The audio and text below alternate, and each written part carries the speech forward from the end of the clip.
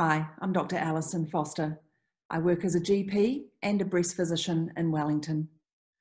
I've been getting a lot of questions recently regarding how to manage a breast symptom in this time of COVID 19. I know that people have concerns about whether they can see their GP with a new breast symptom, uh, and I'd like to address some of these questions now. Uh, so, what are the signs of breast cancer that you should be worried about? Uh, always we're in, interested in a new breast lump, uh, a, a change in the nipple, or a change in the skin of your breast.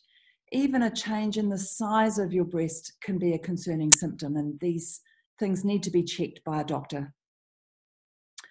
What are the rules about seeing a GP during COVID 19?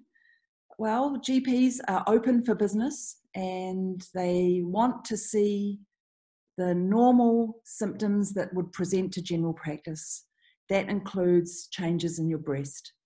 The only major change is that uh, they want you to call uh, before you just call into the into the general practice. They will often do a phone consultation to see whether the problem can be managed by phone or whether you need to book an appointment and be seen face to face like normal.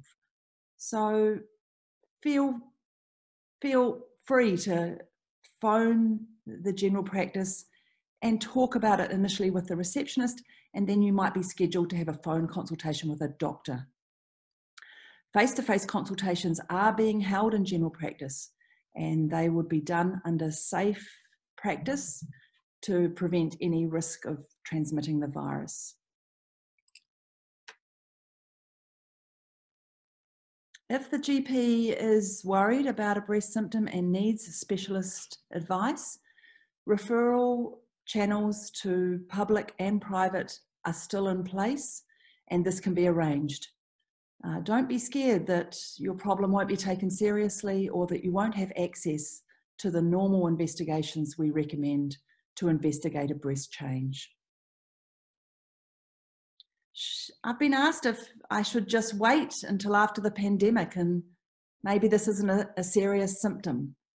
But uh, from the GP perspective and from the hospital specialist perspective, we want to see patients with new breast changes, uh, not only to find breast cancer, but also to exclude breast cancer as a problem. So the main message is that both primary care and hospital services are open for business and we want to see patients like normal.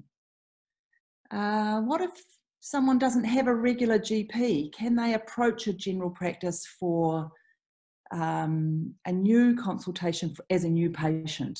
And I absolutely encourage you to do that if that's your situation. Uh, just phone up the local GPs and talk to them about whether you can come as a new patient. I wish you all the best during this difficult time.